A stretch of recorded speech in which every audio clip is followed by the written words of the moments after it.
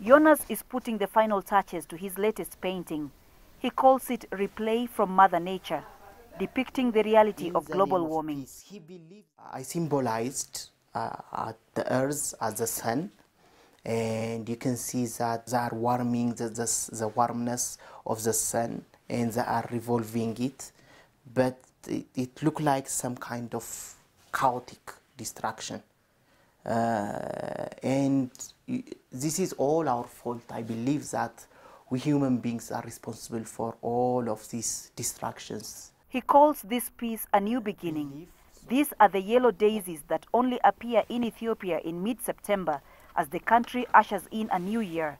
This work shows there is hope to save nature. And particularly, I choose In this piece titled Nature Itself, he uses butterflies to show the power of nature's transformation. regarding to, to all these uh, things, the, the, the damage uh, that we have been through with the global uh, abnormal climate change and global warming is four times that the damage that we create each other like war, politics and others.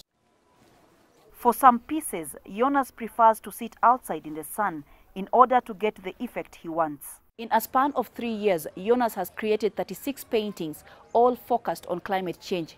He, however, says he does not put a timeline on how long it should take to complete a painting.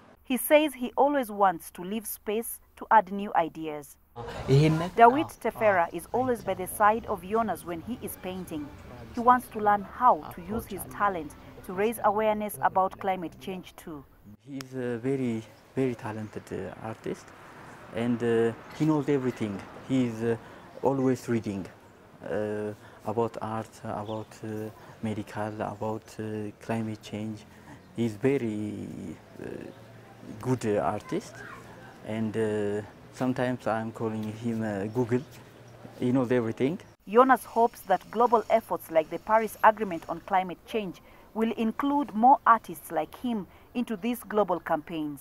we all human beings are capable to, to, to, to, to transform this world uh, if we really can see uh, the, the, the consequences that we have made. For now, he is keen on producing a private collection of his work before venturing fully into commercial art. can Coletta for CGTN in Addis Ababa, Ethiopia.